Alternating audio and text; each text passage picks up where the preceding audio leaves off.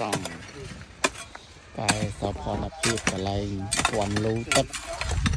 តែទឹកឡើងមកវាបាក់ចឹងទៅទីជាគឺការអាចការធ្វើកំពំលូសាស្ត្រថ្មីចឹងនេះគឺជាសកម្មភាពរបស់ចំណុចពីការរៀនសូត្របាទខ្ញុំអីបង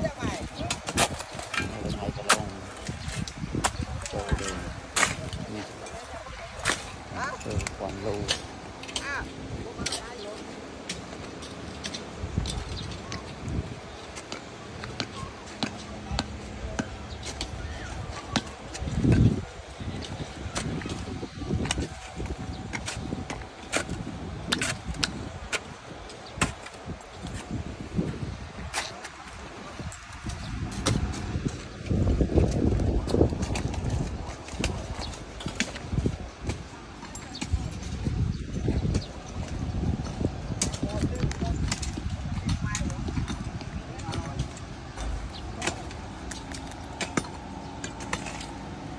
ហត្ថកម្ម